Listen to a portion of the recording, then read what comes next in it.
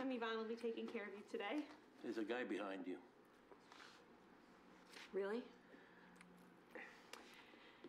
That's Nimrod. He's the idiot waiter in training trailing me. Hi, I'm Nimrod.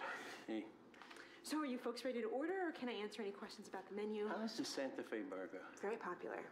Okay, so uh, which do you prefer, the Santa Fe burger or the Natchez burger? Hmm, That's a tough one. They're both really, really good. You don't have a favorite? Um, guess I would say the. Look, man, she's a vegan, so.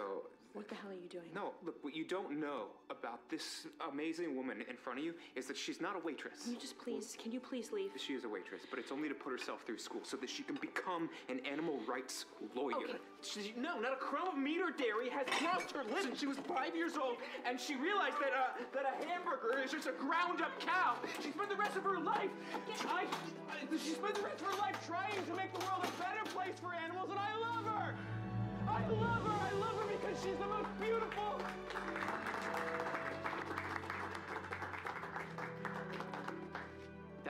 That was beautiful, Yvonne. You're fired.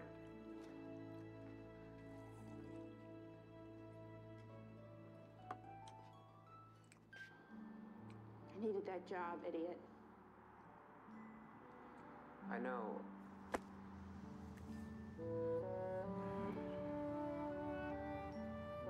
Did you say you love me?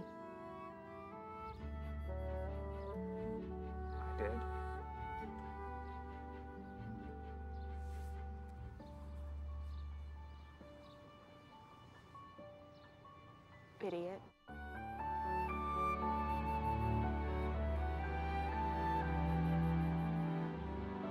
Well, that was lovely.